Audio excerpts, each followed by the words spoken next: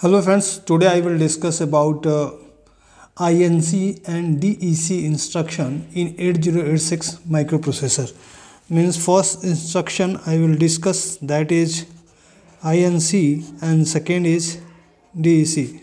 This is increment and this is decrement and this instruction same as INR and DCR which we have already studied in 8085 microprocessor but today we are going to discuss INC and DEC basically what is difference between these? So this uh, these uh, instruction only applicable to 8 bit number but INC is applicable for 8 bit number as well as for 16 bit number. Means by using this we can increment the content of 8 bit as well as increment the content of 16 bit. So this is major difference between INR, INC, DEC and DCR so uh, what is uh, a standard format of INC that is INC and destination. So destination can be a register or memory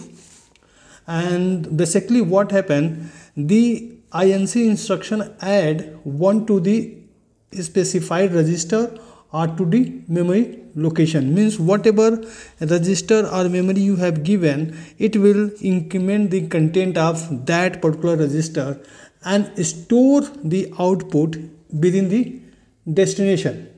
And uh, if we are talking about flag so in this case AF means auxiliary flag OF means overflow flag PF means parity flag S means sign flag and ZF means zero flag are updated and carry flag will be not updated means not affect in the case of INC and DEC. So INC uh, is used for increment the content of uh, given register or memory and uh, DEC used for decrement the content of.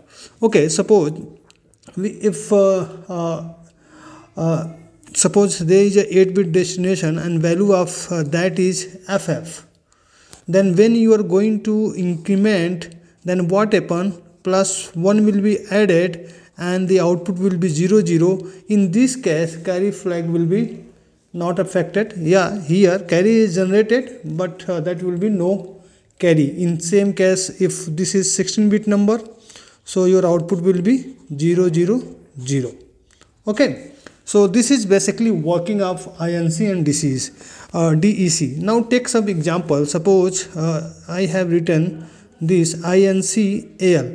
Meaning of this AL, whatever content is available in AL that will be incremented by 1. Suppose move AL 04 when INC AL means now content of AL equal be 05 AL means this is you know AX is divided in two part AH and AL so this is basically AL so this is working. Now suppose uh, AX equal to 1 2 3 4 okay.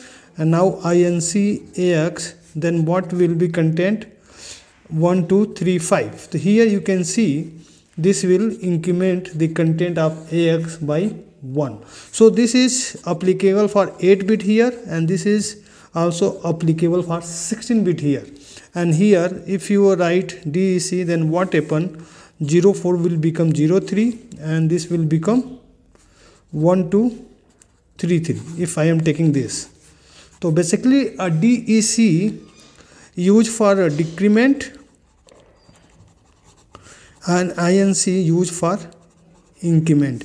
And this is uh, this is can be used for 8 bit as well as for 16 bit uh, for 8 bit as well as for 16 bit. So basically this is difference between uh, INR and DCR and INC and DEC this is used for 8 bit as well as for 16 bit and this is used for only 8 bit okay so this is all about in this video. I hope you got my point basically inc uh, dc are used for increment and decrement.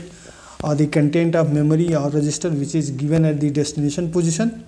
So this is all about INC and DEC in 8086 microprocessor. So thank you for watching this. Thank you